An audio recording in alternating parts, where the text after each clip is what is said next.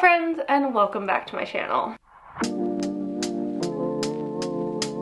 Today I wanted to share with you the plants that I find work best or worst in semi-hydroponics. This is actually a video that was voted on by my patrons. They selected it, so thank you patrons for picking this out. I'm actually really excited to share it with you. I have been growing different types of plants in pon or semi-hydroponics for feel like three or four years now and there's been some that have worked really well and some that haven't as much. So I thought I would go through my thoughts on those with all of you and share my experience. So yeah. If you are new here and you don't know me already my name is Emma and I make houseplanty content all over the internet. So if you want to follow along with my houseplanty journey and maybe learn something along the way stick around watch more of my videos and subscribe to my channel. If you're not new here thanks for coming back I really appreciate it. Let's get into it. So I think I'm going to alternate between best and worst because why not? But one of the best that I have found in semi-hydro, Marantas. They grow so, so well in semi-hydro in a self-watering system. I'm actually going to be talking about all of these in terms of a self-watering system because that is how I most frequently use pon or semi-hydroponics. I do have some cacti and succulents in a non-self-watering system, but I feel like that's kind of a different style of growing. So I'm talking about self-watering. And Marantas freaking eat this up. They definitely enjoy staying a lot more moist. They are a plant that loves to have moisture by their roots and humidity, and I find that when I have Marantas in soil, they tend to be a bit more difficult for me. I tend to be a bit of a chronic underwaterer as opposed to an overwaterer. And so plants like Marantas that like that like moisture and damp soil tend to be harder for me in soil. But as soon as I put my Marantas in pon, they have been doing so, so well. They've absolutely been thriving. And yes, I have had times where I've forgotten to water them still, and they've not done the best, but they're really great at honestly just starting over. You could chop them back to the base and leave their roots in semi-hydro and they will pop back up. And so they are quite forgiving. This one does have a little bit of brown edges because of lack of humidity, I think. But in general, having things in a self-watering system does boost the surrounding humidity a little bit, which is again helpful for plants like Marantas. But honestly, I don't think I would have had such like big growth and like gorgeous huge leaves if I wasn't growing in something like semi-hydro. I don't think that I personally can keep the plant nearly as happy in soil and so this is one that I will forever be putting in semi-hydro. If I buy a new Maranta or get cuttings of one, they're going straight in semi-hydro because that is honestly the best and only way I've been able to grow these successfully. So they absolutely love it. So the first one on my worst list is Scindapsus. So I've actually put several Scindapsus into semi-hydro. Actually, the first plant I ever put into Lechuza was my Scindapsus exotica, and that one is honestly doing quite well.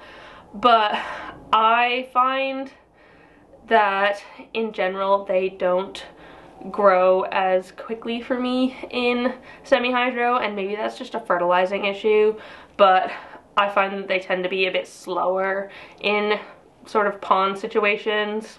Also I find that plants that trail tend to struggle a little bit more in sort of this pon because they can get quite heavy and although pon is a heavy substrate when you have a lot of it on like a big plant in a small plant like this I feel like this is just waiting to pull itself out of here by weighing itself down. And so in general, trailing plants, I don't think they work as well in pon.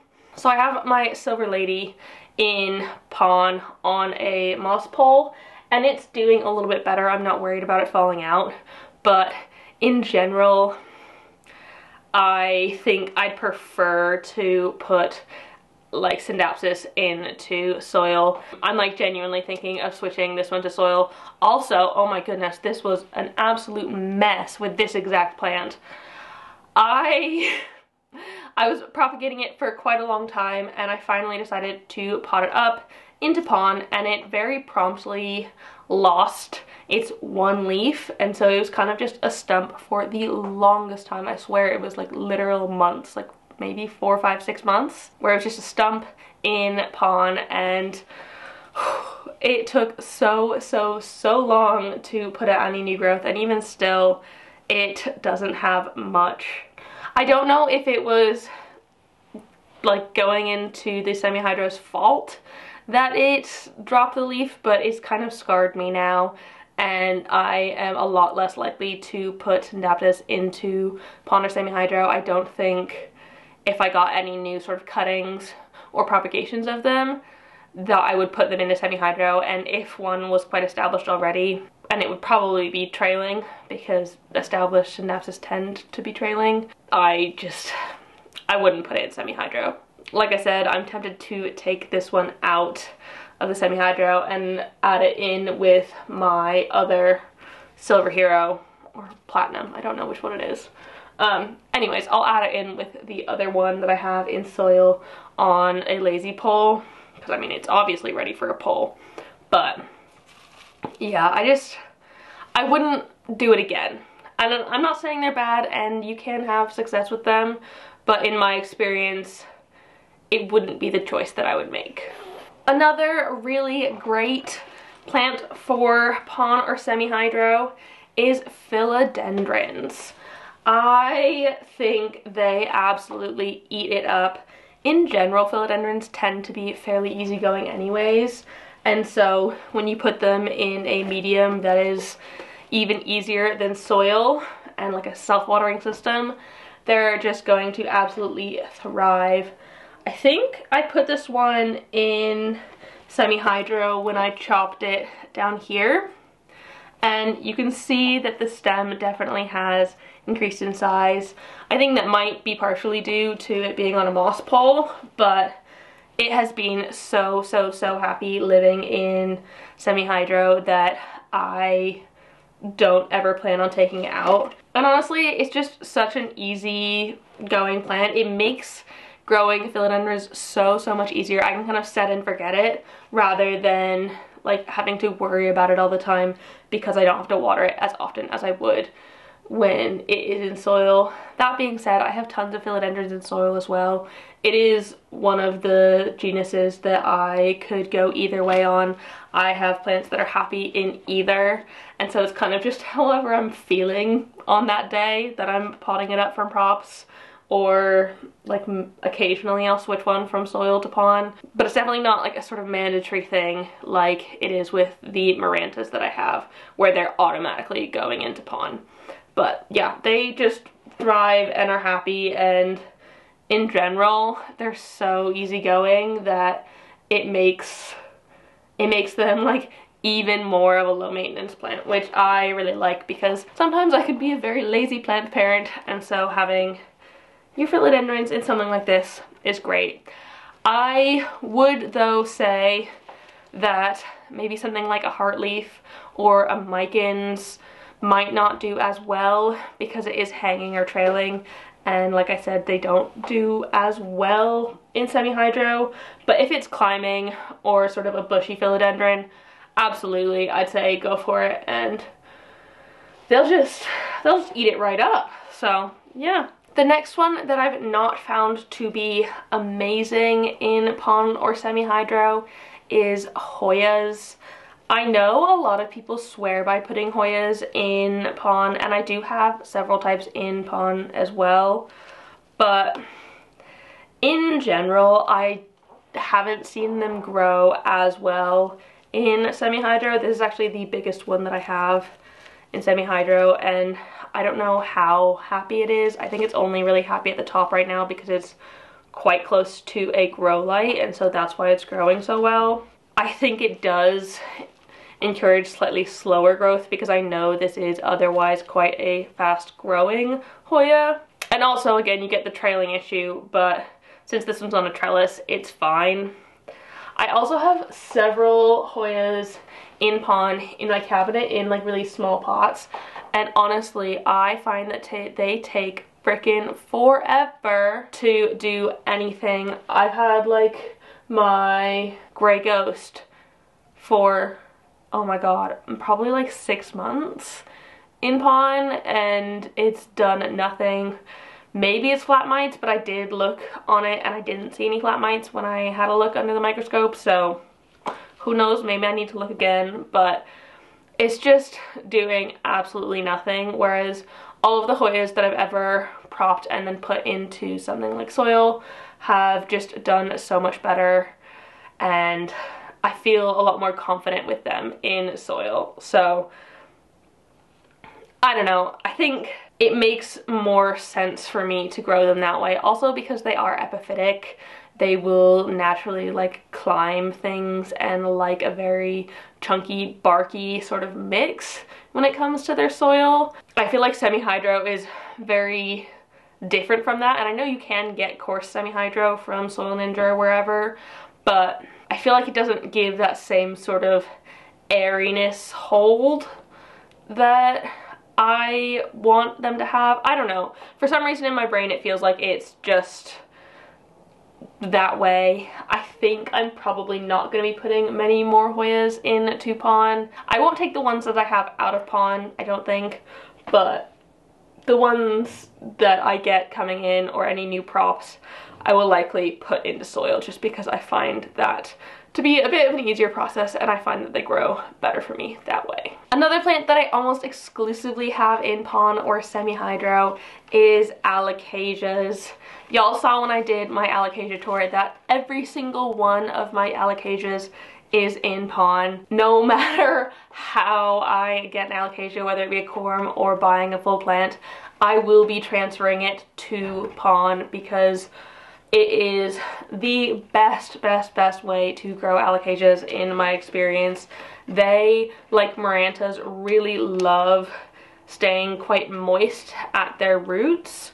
And so having them in self-watering in pon keeps them a lot more moist and I don't need to worry and stress about the water that I would need to otherwise stress about if they were in soil and keeping them as like moist as they would want to be. So anytime I get one going straight into pon and they absolutely freaking love it. This is my dragon scale and uh, this started with like one leaf because I imported it and all the other leaves died off and it even suffered from like stem rot and I was able to bring it back and Look at her now. She's got like six leaves and they're so happy. And I honestly attribute that massively to being in semi-hydro because I think that they absolutely love it and I would not grow alocasias any other way. I think I would find them so much more difficult. And the times I have had alocasias in soil, I felt like they were so much more likely to suffer with the one in one out policy or I don't know, just not be as healthy in general, maybe go dormant. I don't know if that's just because I've become a better plant parent since then or what, but I think part of my success is definitely due to keeping them in semi-hydro or pon. Also, if I'm ever growing one from a corm, I'll put it straight in from the shallow puddle method, which is basically a tiny little pot of water that they sit in to grow roots. As soon as they like start sprouting a leaf, I'll put it straight into pon and they tend to really like that switch. I've never had any issues with them rotting after that. It's just been a very easy process and they make alocasias so, so, so, so easy in my experience. So I really like my alocasias in semi-hydro. So this next one is Epipremnum. And I wouldn't say they are the worst in pon. I just wouldn't ever put them into pon. Potentially Pinnatums as they're a bit more climbing, but even still, I find that they're so forgiving watering wise that I don't feel like it's necessary to give them that sort of self-watering situation. You can. I don't think they would complain because they are so easygoing, but if I have an epipremnum, I'm almost certainly going to be putting it in soil rather than into semi-hydroponics. I actually only just realized in my epipremnum collection video that this is the only epipremnum I have in semi-hydro and it's in semi-hydro because I received it in semi-hydro. I did not put it in here. I might end up taking it out because eventually it'll probably grow to be traily, but I think the Shangri-La in general tend to be a bit more upright, so I don't think it'll be as big of an issue as something like the Enjoy that I have, which I feel like would just pull the pollen right out because it's so heavy.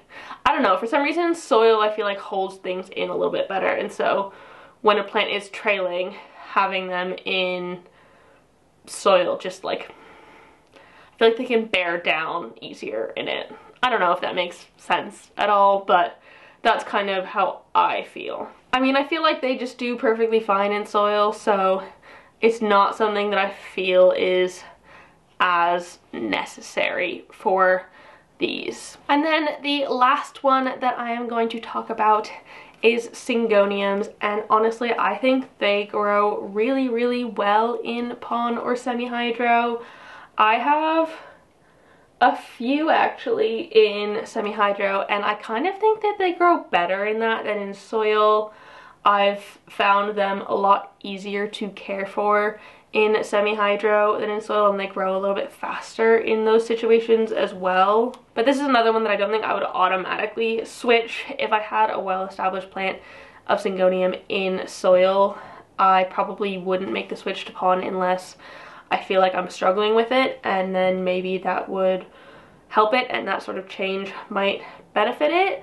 But if I get one in soil, it's probably going to stay in soil.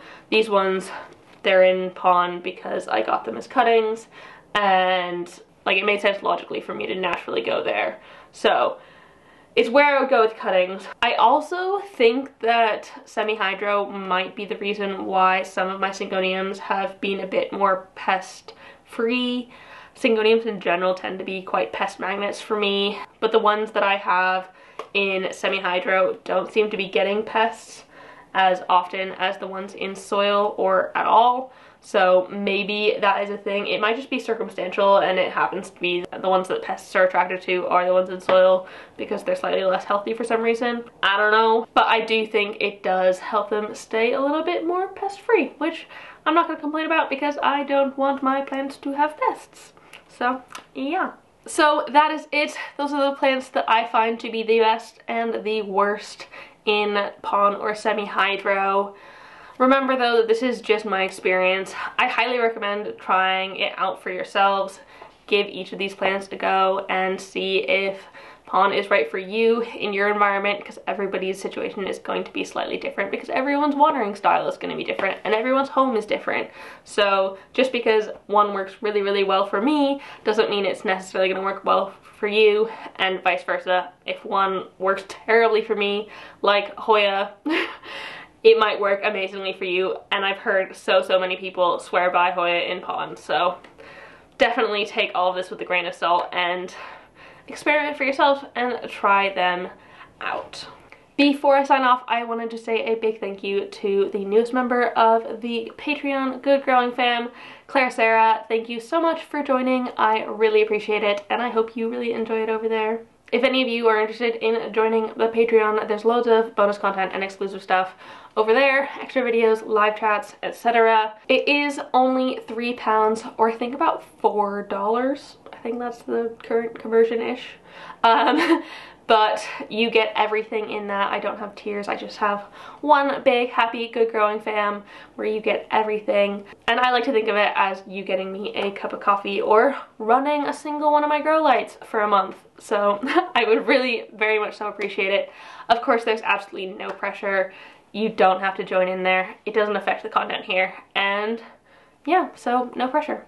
Anyways, if you liked this video, please give it a thumbs up down below and leave a comment on other houseplanty things you'd like me to talk about in the future and subscribe for more. Thank you so, so much for watching and I will see you next time. Bye!